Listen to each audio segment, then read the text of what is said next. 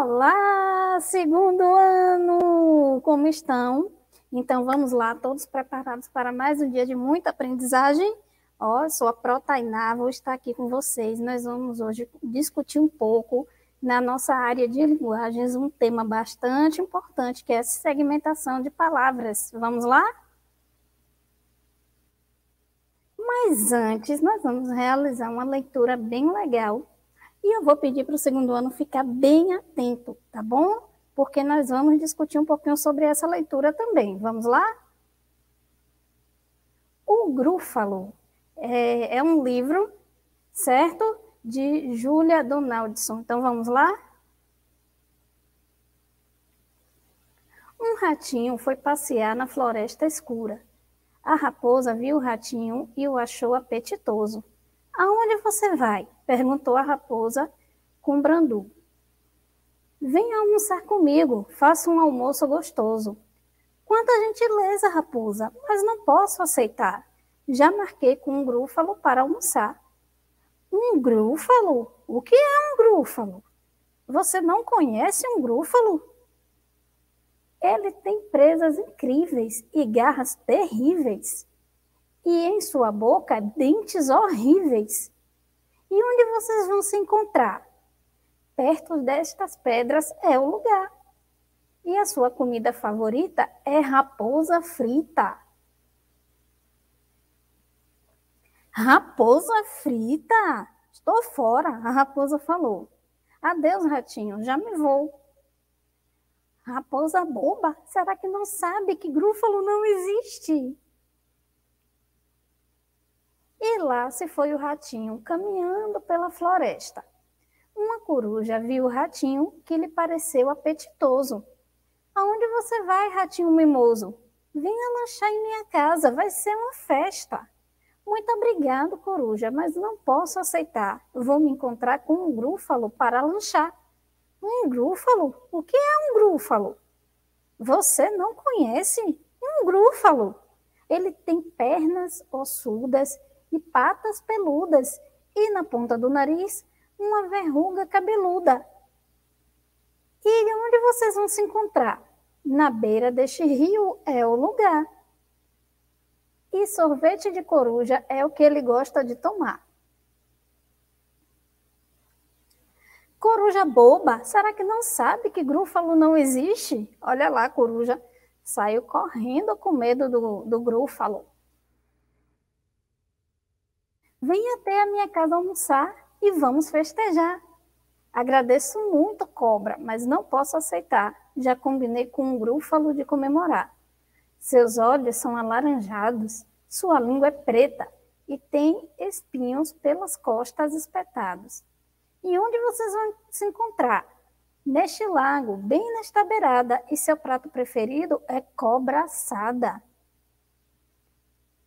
E a cobra Cobra assada, é hora de me esconder. Adeus, ratinho. E lá foi ela, sem mais dizer. E a cobra resolveu não ficar ali. Cobra boba, será que não sabe que grúfalo não existe? Mas que criatura é essa, com presas incríveis, garras terríveis e dentes horríveis, de pernas ossu ossudas, patas peludas e na ponta do nariz uma verruga cabeluda? Com olhos alaranjados, uma língua preta e espinhos pelas costas espetados? Oh, socorro, não, é um grúfalo. Venha, minha comida preferida, disse o grúfalo. Então, vai ficar gostoso no meio do pão. Gostoso? exclamou o ratinho. Não me chame de gostoso. Das criaturas da floresta, sou o mais perigoso. Caminharam algum tempo até que o grúfalo falou: Ouço um barulho na minha frente. Você escutou? É a cobra, disse o ratinho. Oi, cobra, falou de mansinho. A cobra olhou para o grúfalo e tremeu. Nossa!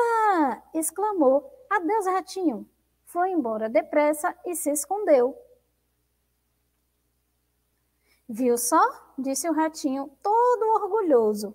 E o grúfalo falou abismado: Espantoso! Caminharam mais um pouco até que o grúfalo falou: Ouço um, fia, um piar nas árvores. Você escutou? E o grúfalo falou espantado: Surpreendente! Seguiram adiante até que o grúfalo falou: Ouço passos à frente. Você escutou? É a raposa, disse o ratinho.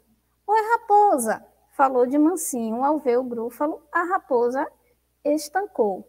Socorro! gritou. Adeus, ratinho! E fugindo com medo em sua toca, entrou.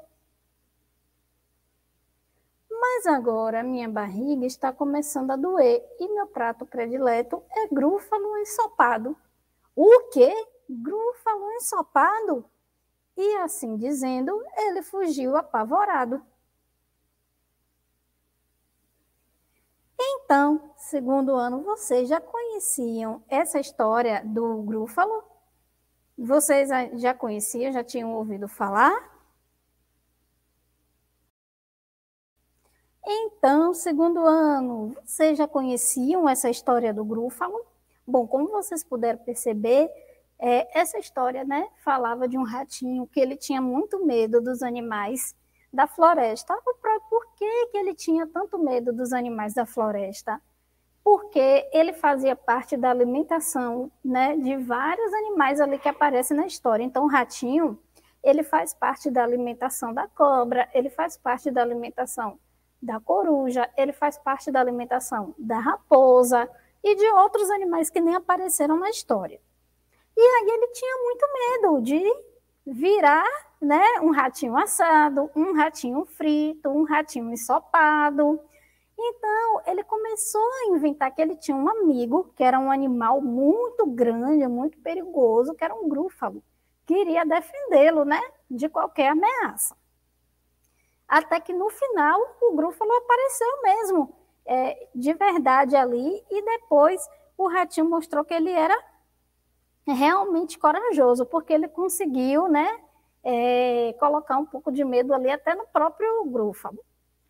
Agora, nós vamos retomar um pouco a nossa aula sobre cantiga de rodas. Como nós estamos falando de animais, eu trouxe essa cantiga que nós já vimos na última aula, que vocês já conhecem, porque é uma cantiga é, de roda muito antiga, a Pro, quando eu era criança, brincava muito. Essa cantiga também fala de outro animalzinho. Olha lá, eu atirei o pau no gato. Então vamos ler? Atirei o pau no gato, totô, mas o gato, totô, não morreu, reu, reu. Dona Chicacá admirou, sim, do berro, do berro que o gato deu, miau. Então, essa, essa cantiga também vem falando a respeito de um gatinho aí, né? Que alguém atirou o pau nele, alguém jogou o pau, né? E o, o gato deu um berro, que é um berro pro? É um grito. E a pessoa, Dona Chica, a gente não consegue saber se foi Dona Chica que atirou o pau ou se ela só estava vendo a cena, mas ela tomou um susto quando ele gritou miau certo? E olha lá nosso gatinho, que fofo, gente. Quem tem gato em casa, segundo ano, quem tem gatinho em casa? Eu tenho um gatinho lindo. Qualquer dia desses eu vou trazer uma foto para vocês verem do meu, tá bom? Vamos lá. Agora nós vamos dar continuidade é, com essa temática dos animais e vamos fazer uma lista com alguns nomes de animais. E aí, nessa lista, nós vamos fazer também a divisão silábica, certo? Como é isso, Pro? Bem, as palavrinhas, elas são formadas por sílabas, certo? E é isso que nós vamos analisar agora. E essa lista, pelo desenho, pela imagem que tem ali, que é um cavalo, nós já sabemos que vai ser uma lista de animais. E lá em cima também, olha lá, lista de animais. Então, vamos lá? Então, a primeira palavrinha que apareceu foi cavalo. Observe onde a Pro está passando a seta, como é escrita a palavra cavalo. E observem as sílabas. Então, olha lá. É, a sílaba K é o C de casa e o A de avião, vá, o V de vela e o A de avião, e Ló, o L de lata e o O de óculos. Olha lá as sílabas da palavra cavalo. Mais uma, olha lá, gato. Gato, olha lá as sílabas da palavra gato. O Gá, o G de gato e o A de avião e o Tó, o T de tatu e o O de óculos. Cachorro. Vamos lá, olha as sílabas. K, o C de casa e o A de avião. Agora, xó, pró. Eu não estou entendendo essa sílaba, xó. Por que, que tem esse ré aqui? Vamos lá, olha lá. Xó vai ser CH. Tem som de X, mas é CH. Então, é o C de casa, o H de homem e o O de óculos. Agora, apareceu esse ré aqui, Pro. Por quê? Porque observem aqui na palavra cachorro, tem duas letras rês. Olha lá. Mas quando eu separo a sílaba, ela está aqui juntinha. Só que quando eu separo a sílaba, eu preciso deixar uma letra ré em uma sílaba e a outra letra ré em outra sílaba, certo? E olha aqui, ró, o ré de rato e o ó de óculos. Vamos lá? Borboleta. Então, olha aqui, ó, bor. E aí a gente precisa já estar tá pronunciando como nós vamos falar mesmo no segundo ano. Por quê? Para a gente não ter dificuldade na hora de escrever. Então, ó, bor. E aí puxa, porque tem um rei na sílaba, ó. O B de bola, o O de óculos e o rei de rato, ó. Bor, bo, o B de bola, o O de óculos, Lé, o Lê de lata, o E de escola e o Tá, o T de tatu e o A de avião. Borboleta. E olha lá, mais um animal. Esse apareceu lá na historinha do Grúfalo. Cobra. Então, có, o C de casa e o O de óculos. Bra, o B de bola o R de rato e o A de avião.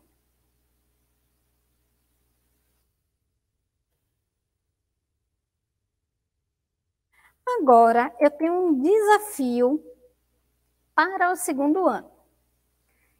É, a pergunta é: o que a criança escreveu?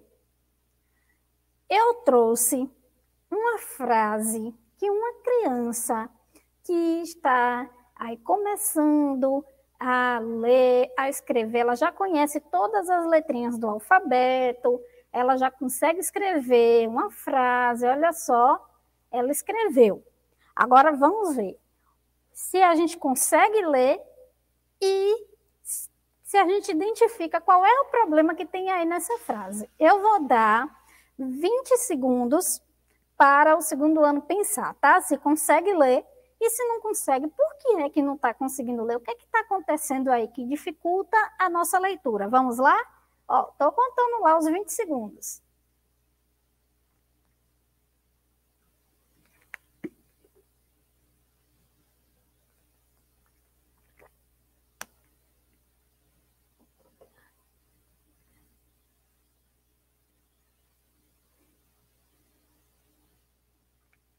Pronto, vamos lá?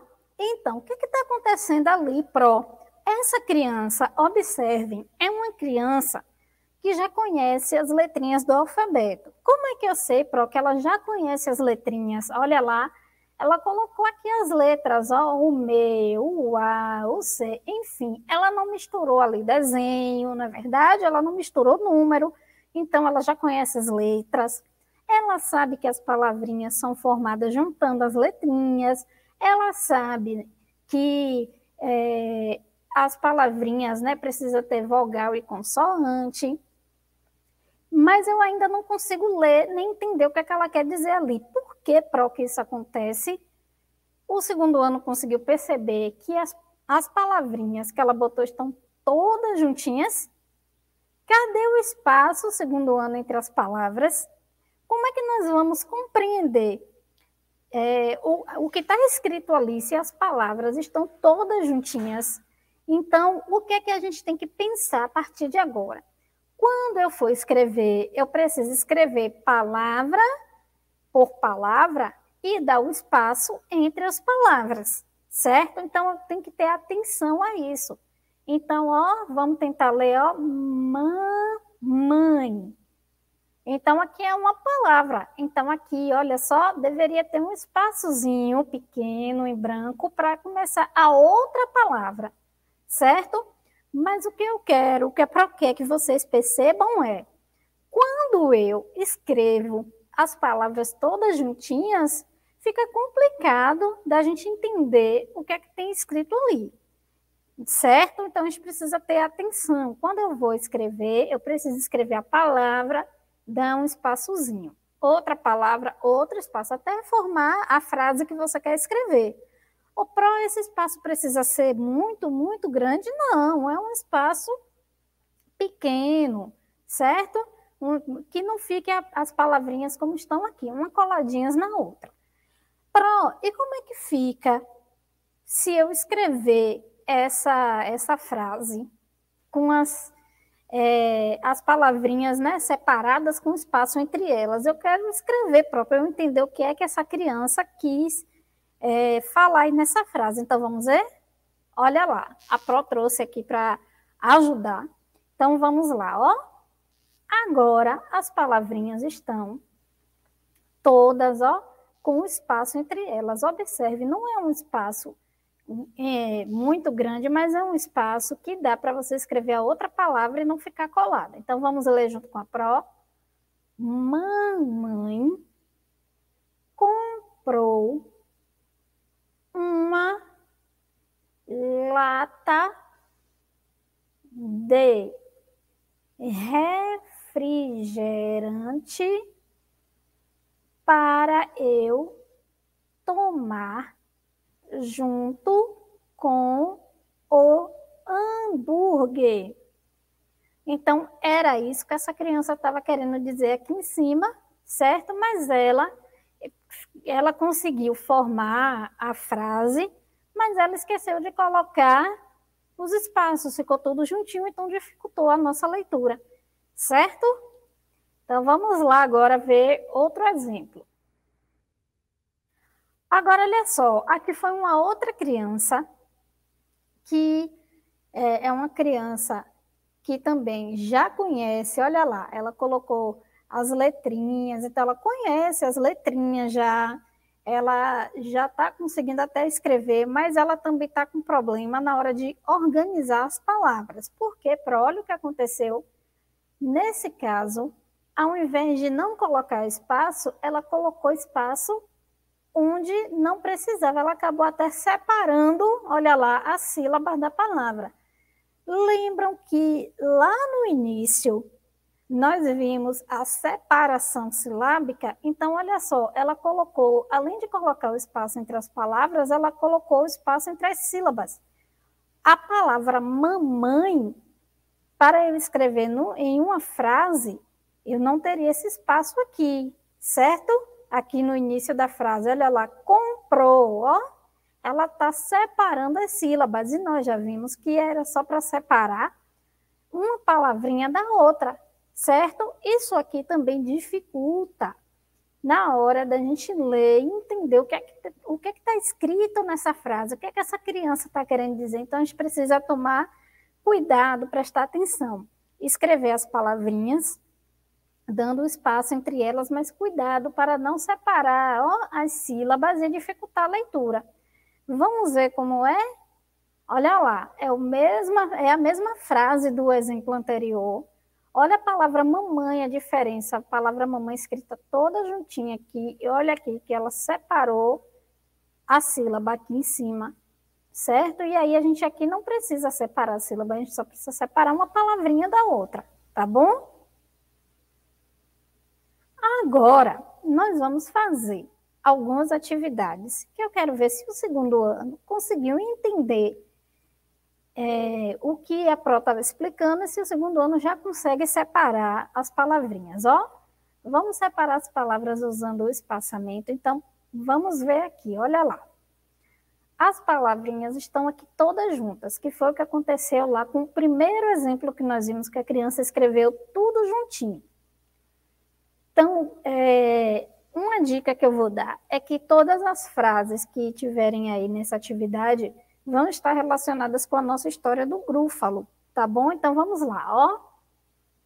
Vamos tentar ler, ó. O rato. O que, que, que, tem escrito aqui, segundo ano, ó, que tá junto, ó. O rato. Então, o rato. Foi. Então, ó, o rato foi muito. O rato foi muito esperto. O rato foi muito esperto. Então, agora que eu já descobri, né, todas as palavras, nós só vamos separar ali as palavrinhas, ó.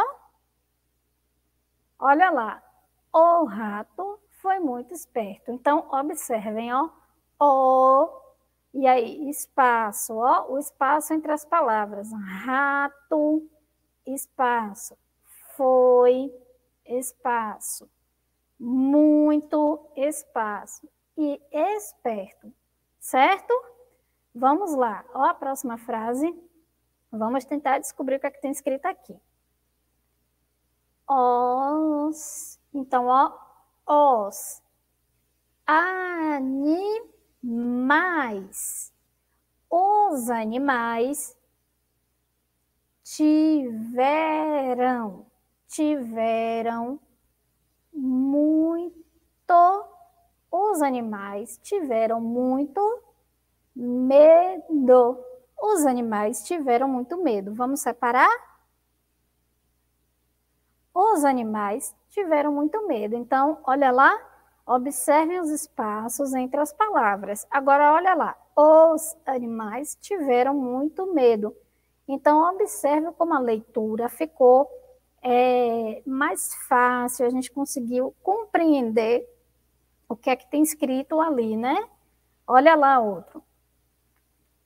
O, então, o grúfalo, o grúfalo fugiu, então, o grúfalo fugiu do, o grúfalo fugiu do ratinho o grúfalo fugiu do ratinho. Vamos lá? Olha lá. O grúfalo fugiu do ratinho. Então, observe mais uma vez. Nós só colocamos ali o espaço entre as palavras para organizar o texto, certo? Observe a diferença quando nós escrevemos tudo juntinho e quando nós separamos é, colocamos o espaço entre as palavras. Então, o que é que eu tenho que lembrar pró de agora em diante? O que é que eu não posso esquecer quando eu for é, escrever alguma coisa? As palavrinhas, elas precisam ter um espaço entre elas. Olha lá o espaço aqui, para não ficar tudo coladinho aqui. Mas a gente precisa também ter cuidado para não ficar um espaço grande e até separar as sílabas da palavra. A palavra que era para estar escrita toda juntinha, né? Por exemplo, rato. E como é que eu escrevo rato? O rei, o A e depois o T e o O. Então tem que ter cuidado para não separar a sílaba da palavra, certo? Vamos lá, mais, um, mais uma atividade aqui.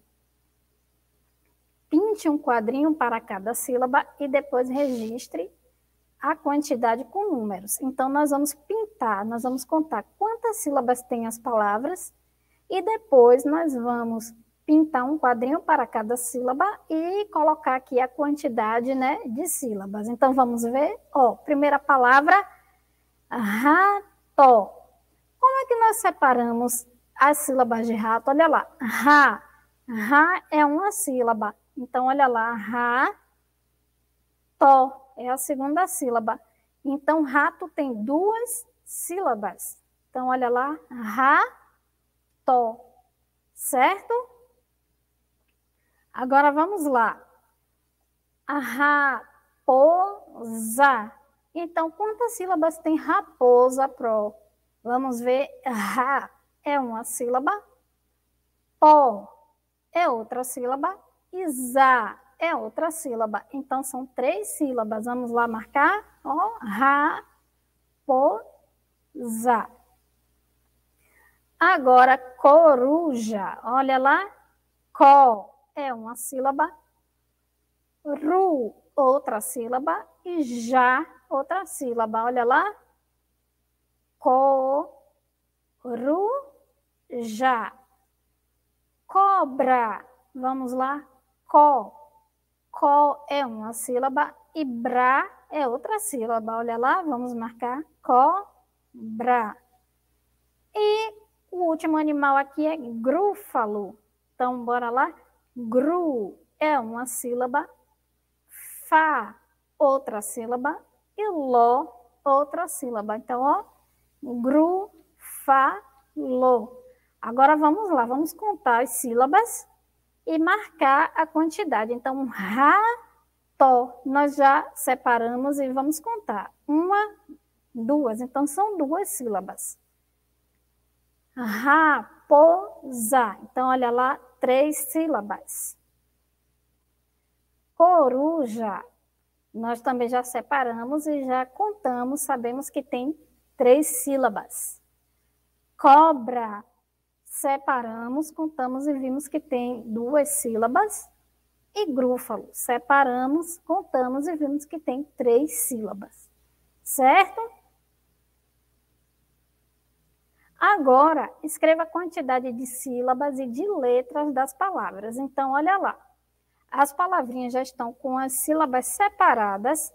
Nós vamos contar. E aí, vai aparecer aqui no primeiro quadrinho a quantidade de sílabas e no segundo a quantidade de letras. Então, a primeira palavra aqui da lista, ó, a prova vai botar a seta aqui do lado para vocês visualizarem, é rato. Quantas sílabas tem aqui, segundo ano? Olha lá. Duas sílabas, certo? Então, vamos lá. Duas sílabas. E quantas letras? Uma, duas, três, quatro. Duas sílabas e quatro letras. Agora, olha lá, a palavra é raposa. Tem quantas sílabas aqui, segundo ano? Três sílabas. E quantas letras? Ó, uma, duas, três, quatro, cinco, seis. Então, três sílabas e seis letras. Coruja. Então, vamos contar, são três sílabas e quantas letras? Uma, duas, três, quatro, cinco, seis. Então, três sílabas e seis letras. Cobra. Então, são duas sílabas, olha aqui. Quantas letras pro? Uma, duas, três, quatro, cinco. Então, duas sílabas, cinco letras. E grúfalo. São quantas sílabas aqui? Três. E quantas letras vamos contar? Uma, duas, três, quatro, cinco, seis, sete. Três sílabas e sete letras. Agora vamos lá, para essa leitura aqui. Lá vem o pato, pata aqui, patacolá. Lá vem o pato para ver o que é que há. O pato pateta pintou o caneco, surrou a galinha, bateu no marreco pulou no puleiro, no pé, no pé no cavalo, levou um coice e criou um galo. Comeu um pedaço de genipapo, ficou engasgado com dor no papo. Caiu do poço, quebrou a tigela, tantas fez o moço que foi para a panela. Essa leitura é um poema de Vinícius de Moraes, certo? Também é bem conhecido, né? Inclusive, tem esse poema aí cantado, está disponível, né? É um poema bem conhecido. Então, agora nós vamos encontrar as palavrinhas do texto aqui no diagrama. Então, olha lá. A, aqui a gente tem algumas imagens, né?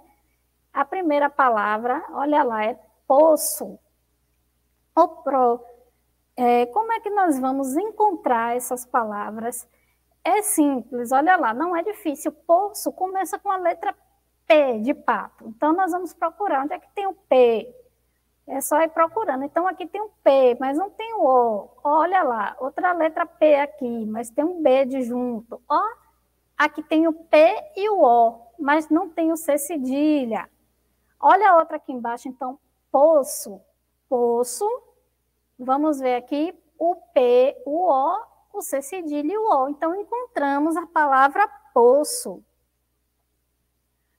É, agora, olha lá outra palavra, marreco. Marreco começa com me, de mesa, lembram? Então vamos procurar. Temos logo um aqui no começo.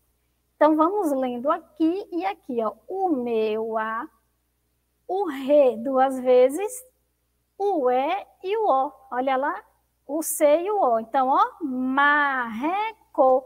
Encontramos marreco.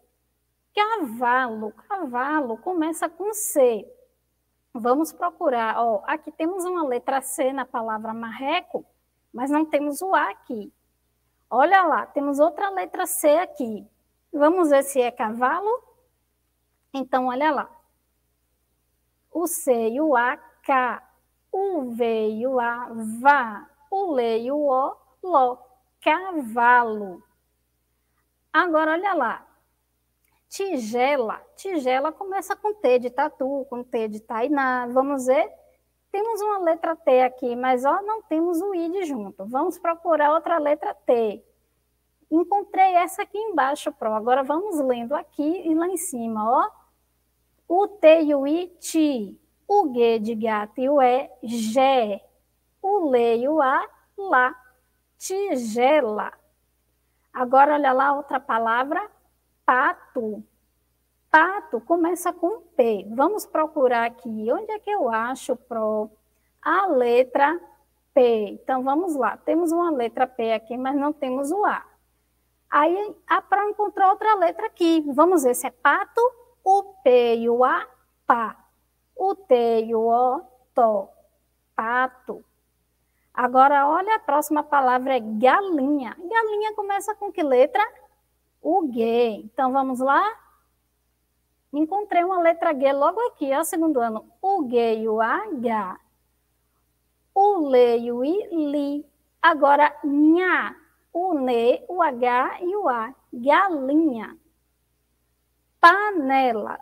O P começa com P. Aí, vamos procurar. Eu achei uma letra P aqui, ó. Vamos ver se é panela. O P e o A, pá. O ne e o é, né. O le e o a, lá. Panela. E a última palavrinha é genipapo. Genipapo começa com o gi de janela. E eu encontrei logo aqui, olha uma letra G, vamos ver se é genipapo. Genipapo, ó, Gé. O G e o E. Ni, o Ne e o I. Então, gene. Agora vamos ver o P e o A, pá, gene, pá, o P e o O, pó, gene, papo. Agora, nós vamos só marcar as palavrinhas, olha lá, marreco, gene, papo, pato, cavalo, panela, tigela, poço, galinha, Agora nós vamos passar um tracinho, olha lá, risque apenas o nome correto. Vamos olhar a imagem e passar o tracinho em nome, embaixo do nome da imagem, tá? Então, olha lá. Essa imagem aqui é a imagem do cavalo. E aí nós temos aqui as palavrinhas, olha lá. Galo, coelho, cavalo. Então, qual é o nome ali do animal? Cavalo. Então, vamos passar o tracinho embaixo da palavra cavalo, certo? Então, nós vamos fazendo isso com todas as imagens, certo? Então, olha lá, nós temos aqui agora, ó, essa imagem aqui que é uma tigela. Vamos procurar tigela? Olha lá, essa palavrinha aqui, ó, janela, é o nome da, da tigela? Não. Então, olha lá, panela. Também não. Então, vamos ver a última palavra. Tigela. Então, aqui, ó, encontramos a palavra tigela. Vamos lá, outra palavrinha, ó.